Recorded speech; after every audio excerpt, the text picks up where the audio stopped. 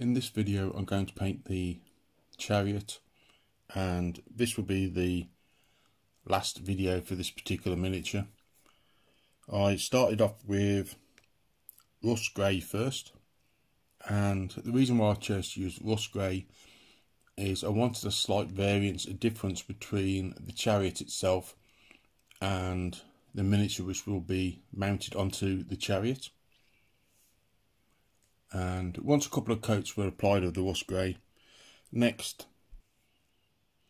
I used Ulthuan grey. And as you can see I'm using this on the some of the edges to give some highlights to the edges. And then next I'm using a mix of Lahmian medium and Mechanicus standard grey.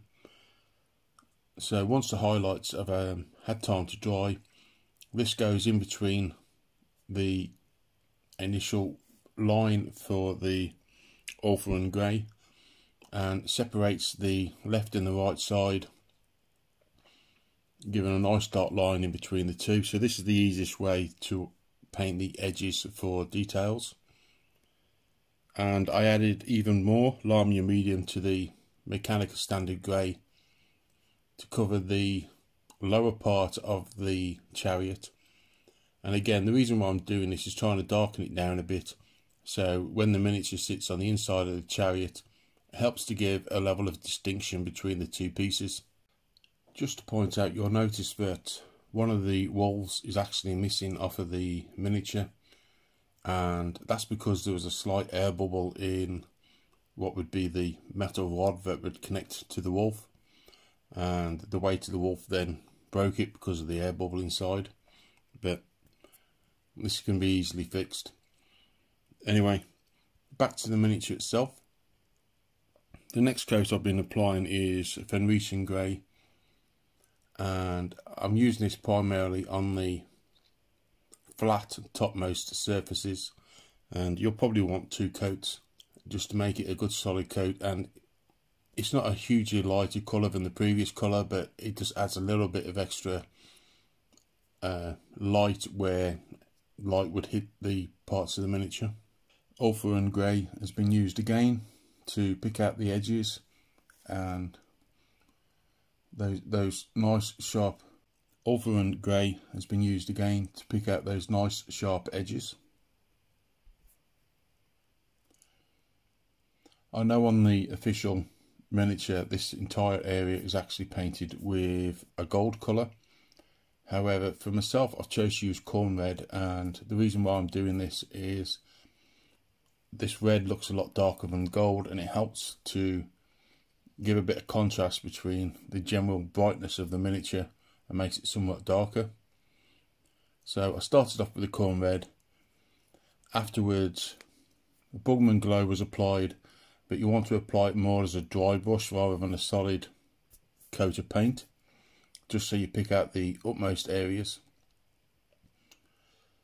And also, where I used the Ulthuan grey previously and I would cover the recesses in such a way I'd cover both the left and the right of a recess. I've done the same principle here with the shields in the areas where you've got some recesses on the shields and once these areas have had time to dry I've used Carroburg Crimson as a wash to cover the whole area and it helps to tone them down a bit further so they're just slightly darker. For the metallics on this miniature I felt it's quite important to try and tone the miniature down and give it some darkness. So I started off with Leadbelcher first and then I used Ironbreaker just to pick out the edges to give it a bit of a highlight and once this was dry Nuln Oil was applied onto all of the metallic areas and this really darkens them down. And then lastly a very small amount of Runefang steel was applied onto the very tips of some of the more prominent, more sharper areas of the metallics just to show that slight light reflection. For the exhaust, I've done a video before on painting the exhaust and this is also a great way of painting weapons which are energy or heat based as well. But being I've already done this video, I will leave a link in the description if you want to check that out. And yet, more metallics, only this time it's gold. So I started off with Balthasar Gold. And afterwards I use Auric Armor Gold. And some of these areas are quite flat pieces where areas like the wolf head on the front of the chariot because of the detail on it it's best to use the side of your brush so you can just pick out the details and that makes it nice and easy for you. Now for the monitors buttons and these these nobular parts at the bottom of the chariot which I'm presuming are to be lights maybe I'm wrong. However for the two screens initially I used Warboss green. And then on one side I used Phalanx yellow to painting three lines and then a few little blips to indicate um, where the potential targets are. And on the opposite side after the green I use a small amount of orange then a small amount of red to indicate the warning sign on it. And afterwards a very small line with Abaddon black to indicate the the marker. And once the screen which is for the radar has had time to dry Hexwraith flame was applied onto the topmost area to indicate how the bottom of the screen is brighter than the top. And for the lights on the underside I used the Warboss green and then I used a couple of coats of the Hexwraith flame. For the various buttons that are next to the the monitors. I wanted to do them in two different colours to make them stand out.